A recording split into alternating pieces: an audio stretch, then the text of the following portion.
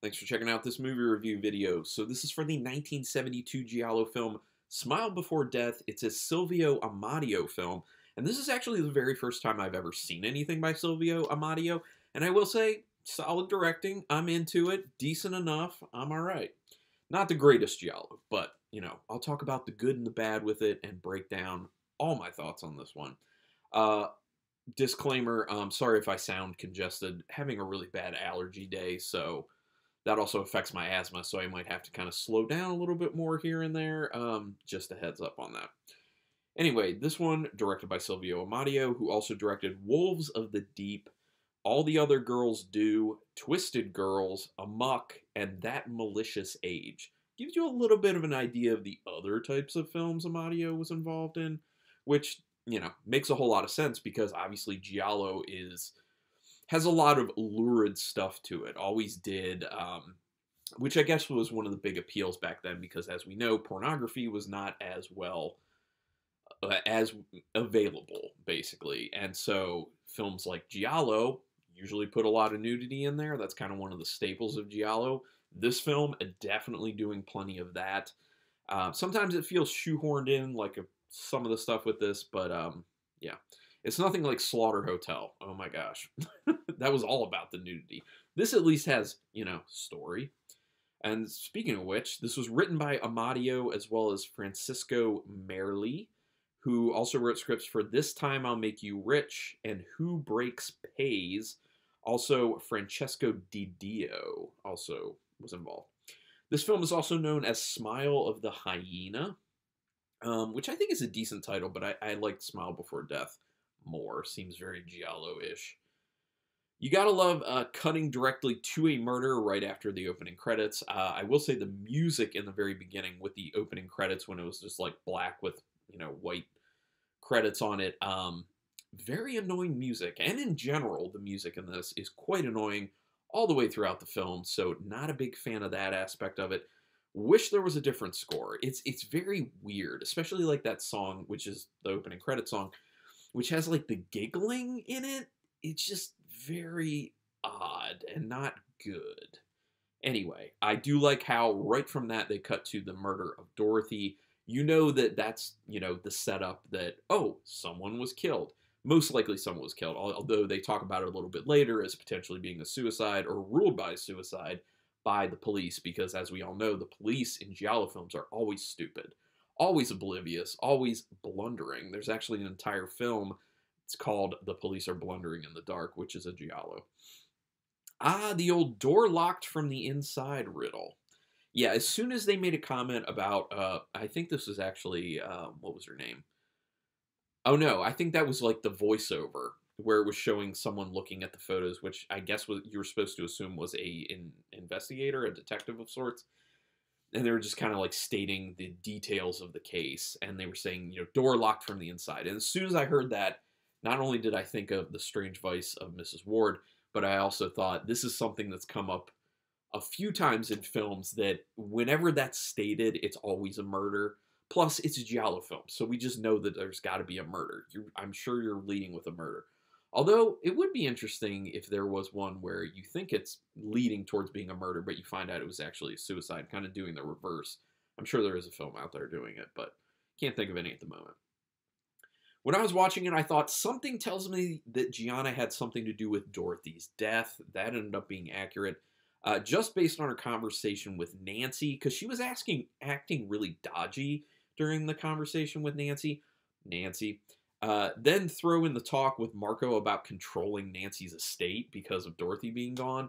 You know, they were very, very concerned about the fact that Nancy was much older than they assumed she was. And they're like, oh, she's getting close to legal age, which means that, you know, she'll be able to start taking over the estate of Dorothy soon. So we have to move quickly, which obviously you find out later means we're going to off this person. Um, although, you know, there are some things that come into play that make them kind of question that here and there but yes. Gianna was really checking Nancy out when she changed, changed clothing. That was one of those moments where, like, get the nudity in, let's go, let's throw the nudity in really, really quick. And then they add the extra intrigue of a woman being interested in another woman. Obviously, a very lurid thing to throw in film back then. Uh, not nearly as much so now, but uh, it also set it up for much later on when Nancy uh, started to come on to Gianna after she had already come on to Marco. Uh, and uh, you, you know, obviously you could tell by the end of the film, knowing all the information that that wasn't actually Nancy. She was someone, one of Paolo's girls, or was Paolo's girl. Because uh, I guess Dorothy was one of Paolo's girls too. I guess, yeah. And th- and there is something that's kind of like insinuated that she was like a prostitute because they show a really quick clip of her like accepting money from a guy in like a bedroom setting. I assume that's what that was supposed to be. So I guess that Paolo is like a pimp, maybe? I don't know. It's weird. It's weird. It feels like Giala, uh, Gianna does the photo shoot with Nancy as a way to endear herself to her more. Uh, yes, I really do feel like you can. Re- it just like oozes from Gianna that she's trying as hard as she can to get as close as she can to Nancy and to earn her trust. Because obviously, down the road, it would make it a lot easier for her and Marco to enact their plan to lull her into a false sense of security and then off her. I like how it's blatantly obvious that Marco is making no attempt to help Nancy when she is struggling in the water. Uh, she was struggling to tread water when they were out on the boat, that was after their big montage of becoming great friends and saying, oh, we're just like a family, even though much later they start boning each other. Family doesn't do that. Uh, not usually. And that's messed up. But, but, um, they, um, yeah, so you tell, you can tell very, very easily that, that Marco is just waiting for her to drown for the most part especially because they're showing the binoculars, which I assume is Gianna watching everything go down, and it's going between Gian, uh, Marco to Nancy, and Nancy's just like, oh, I can't swim, I can't swim. And then she even says something later that she noticed that Marco seemed like he wasn't even trying. I mean, it's it's really stupid because in the case that she does end up living like she does because they had a rescue boat come out, you want it to seem like you were trying. Because if anyone else sees, you don't want them being like, yeah, that person just let her drown. So he he could have at least, you know, tried to swim over to her and just be like, "Oh no, you're slipping out of my hand." You know, just sell it. Sell it a little bit, dude. Marco instead was just like treading water and just like staring at her. Not very smart. Interesting shot with Nancy sitting at her desk uh, with full facial reflection in two mirrors at the same time.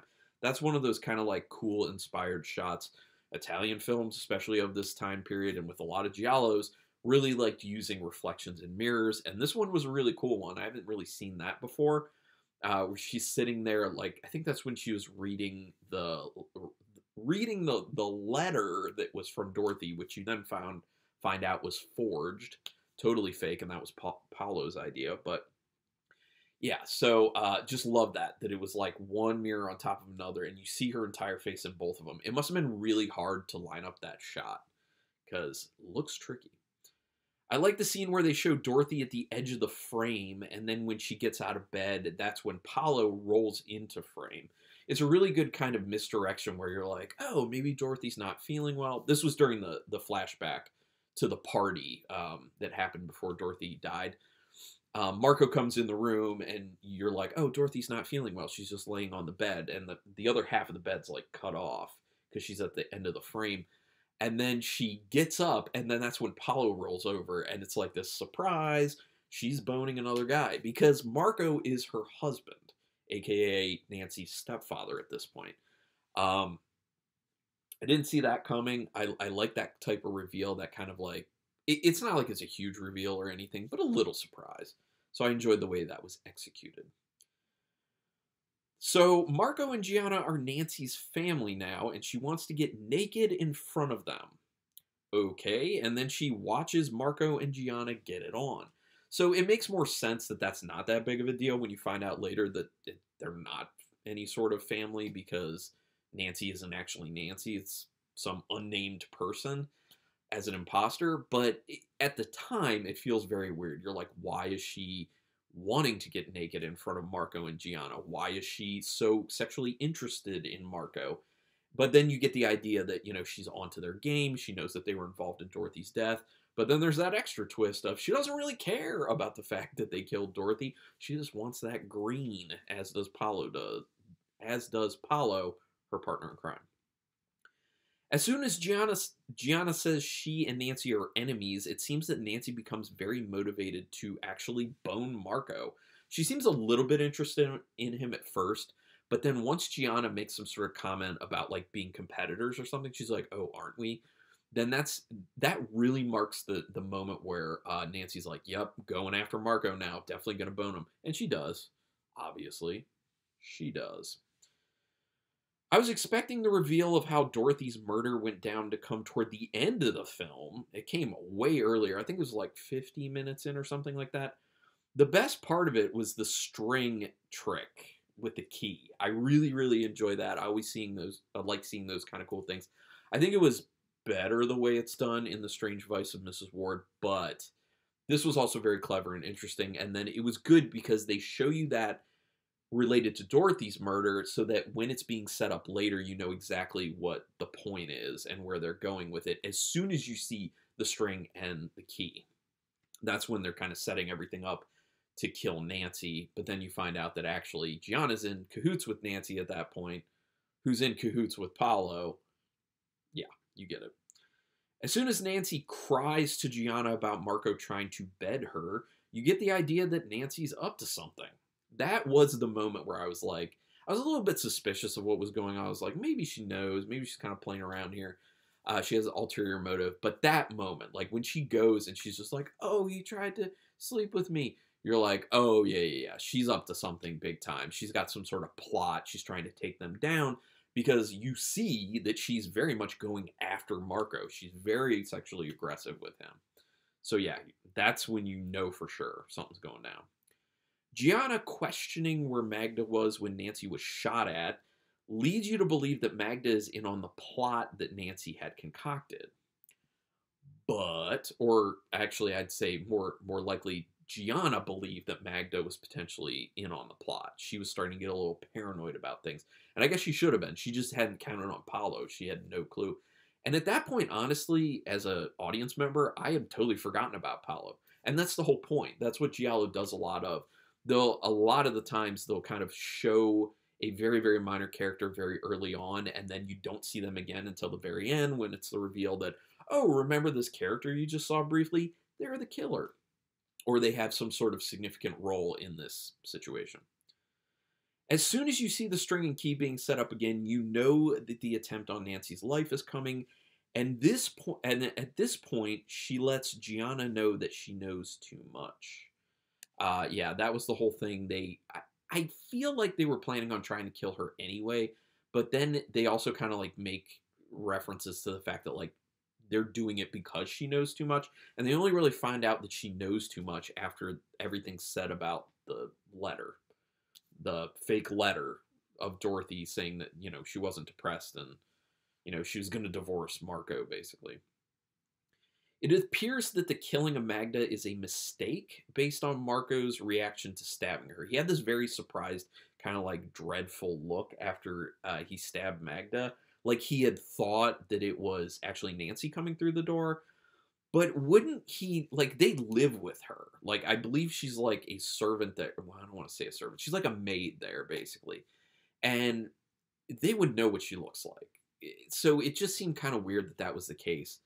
Um, but then did they also just need I also questioned at that time, did they just need Magda gone? Which you find out like that is the point later, I believe, because that's what Mark was it Marco? I think Marco says it to Nancy at that point, and he's just like, you know, this is basically this is on you. Like she had to go because she knew about this, and that just leaves you as the only other person who knows about the situation with Dorothy. So obviously you have to die. So, but um, the way it played out was just odd, just very very odd.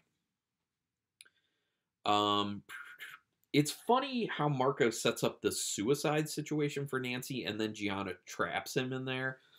He really took his time. Like, and as he was just going so painfully slow setting everything up, you were like, yeah, he's gonna get trapped in there. Like, you just know it's coming. You don't know necessarily who's gonna be the one to set that up. And it is a nice reveal when you see Gianna at the door and she's, you know, taking the key out, the key and the string out. I like that reveal. So uh, Marco got played, got played, and I thought he was gonna die, but then he ends up being alive because they want him to write a check. Paolo and Nancy. So Nancy wasn't some sweet innocent girl all along. She was Paolo's girl posing as Nancy to take care of Marco and Gianna. I do quite like that twist. Overall, I don't think this is like an amazing film, but I think that twist made me like it a bit more than I would have otherwise. So I'm down. I like how Paolo doesn't want revenge for Dorothy at all. He just wants to extort money from Marco and Gianna. Um, yeah, it shows you the type of person that Paolo was. I mean, it leads you to believe also that maybe either Dorothy was just paying him for sex, which I guess I would assume that's the case because of the huge age difference. You know, not that that necessarily means everything, but you know, but you you get a glimpse into who he is. He's not a good person. He's not in it to to avenge Dorothy's death. He doesn't want to have them stand trial for what they did. He's just like, just give me some cash. I could care less if Dorothy's dead. All right, good guy, huh? Kind of a wacky ending, though. I think I think it's too much. I think they should have ended it where Paolo and Nancy get the money and then they just take off. Adding that twist of like, you know, they're driving off on his, uh, I think, moped, and then they make that left turn, and then all of a sudden you hear a crash, and both Nancy and Paolo, Nancy and Paolo, have died because they were hit by a taxi cab. And who's in the taxi cab? the real Nancy. It's just too coincidental. It's too hokey. It's too ridiculous. I really think they should have just ended it with Paolo and Nancy just getting away. I mean, they even could have done it where Paolo and Nancy get away and then the real Nancy eventually shows up. Um, that would have been fine, and you so you could still incorporate the actual Nancy. But the whole thing of them just getting killed by the cab that's that has Nancy in it, it's just ridiculous, and, it, and it's not a good way to end, in my opinion. And that's especially after getting a nice twist reveal. Then you get let down by this just weirdness. You're like, oh, not a great choice. Once again, hated the music in this though. But overall, I liked it enough. And uh, out of five stars with half stars in play, I'm gonna I'm gonna give it three stars. I was between two and a half and three, but the twist is good enough. It's intriguing enough. I'll give it three stars, but I considered just going with the two and a half, so just know that. Would love to hear other people's opinions on this film. Go ahead and put it in the comments. Do you love it, hate it, in between? You want to talk about things related to it? Do you want to just talk about Giallo in general? We can do that in the comments. Also, if you really like Giallo films, you can also check out a ton of other Giallo reviews on my channel. I have a whole playlist for them, uh, so enjoy.